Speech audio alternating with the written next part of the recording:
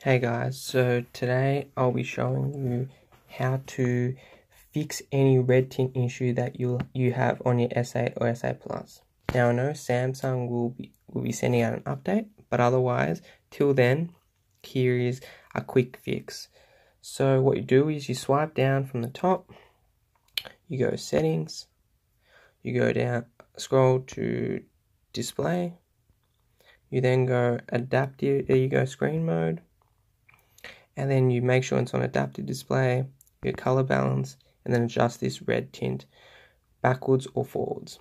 So I'm going to leave it as default just because mine doesn't have a red tint issue. I don't see any problems with it. But if yours does, feel free to adjust this and even adjust the other green or blues.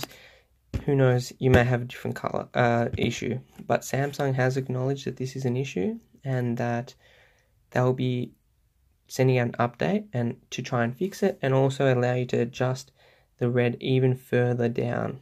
Now, if I, I believe again, if this doesn't fix it, Samsung are going to offer a replacement device just because I, with the manufacturing process, not all screens are created equal. So they should be approximately the same tint in every RGB color gamut, but they're not.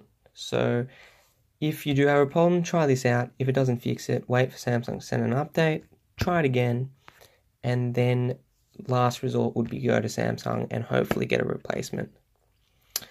So I hope this helped, and if it did, um, please leave a comment down below. Don't forget to like and subscribe if you want to see more content like this. Till next one, guys, I'm out.